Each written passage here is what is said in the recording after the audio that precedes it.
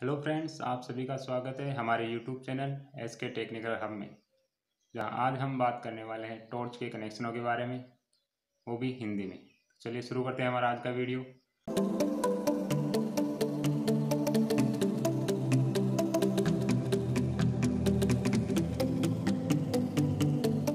जैसा कि दोस्तों, आप सभी के घर में किसान टॉर्च सबके पास होता ही है।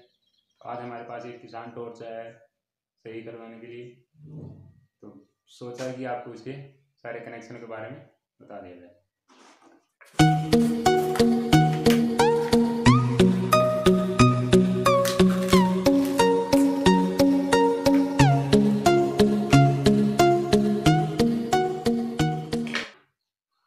तो ये दोस्तों इसके अंदर ये जो दो वायर होते हैं, ये है बैटरी के।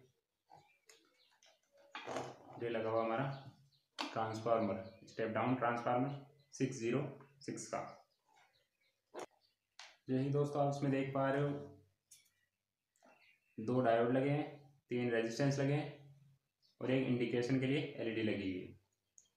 साथ ही इसके अंदर एक मेन एलईडी है और छह ऑक्सिलरी एलईडीज हैं। एक स्टेप डाउन ट्रांसफार्मर लगा हुआ है सिक्स ज़ीरो सिक्स का, जो 230 वोल्ट को 6 वोल्ट में कन्वर्ट करता है। तो इसके कनेक्शन समझने के लिए आपको इसका पहले डायग्राम देखना होगा। तो ये आप डायग्राम देख सकते हैं स्क्रीन पे जो दिख रहा है।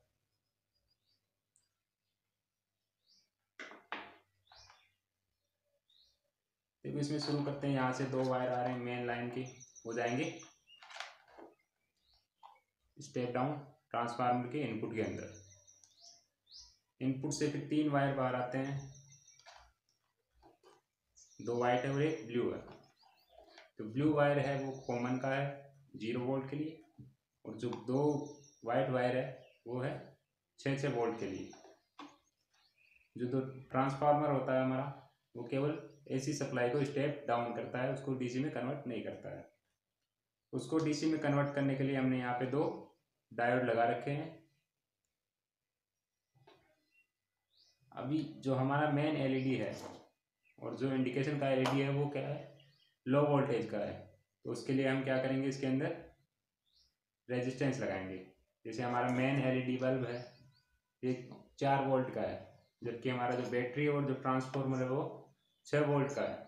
तो उसके लिए हम जो एलईडी है, उसके सीरीज़ के अंदर रेजिस्टेंस लगा देंगे, जिससे वोल्टेज डाउन हो जाएँगे हमारे। इसी के साथ इसमें हमने एक स्विच लगा रखा है। तो स्विच का एक एक सिरा तो दोनों एलईडीज में जाता है और एक सिरा इसमें बैटरी का लगा होता है। और जो कॉमन का सिरा होता है, वो डायरेक्ट एलईडी में जुड़ा हुआ होता है। तो इसके अंदर जो बैटरी उसमें एक प्रॉब्लम आई है कि ये ठीक से काम नहीं कर रही। जो मेन एलईडी है, वो जल नहीं रही है।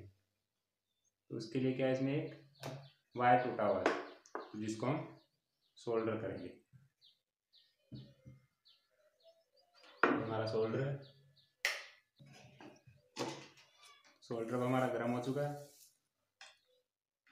ये होता है सोल्डर ये होता है फ्लक्स और ये होता है सोल्डरिंग वायर इसकी सहायता से हम वायर को सोल्डर करते हैं।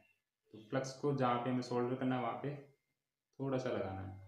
ताकि शोल्डर का जो हमारा जॉइंट है वो अच्छे से हो जाए।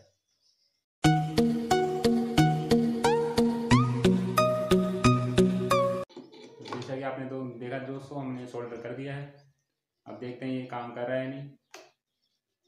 देख सकते हैं आप, ये ठीक से काम कर रहा है। तो ऑक्सिलरी लाइट वो भी ठीक से काम कर रही है। इसको वापस असेंबल करते हैं।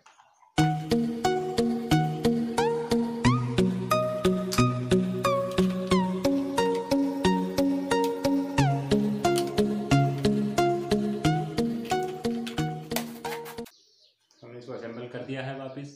अब देखते हैं काम कर रहा है नहीं। देख सकते हैं आप, बिल्कुल काम कर रहा है।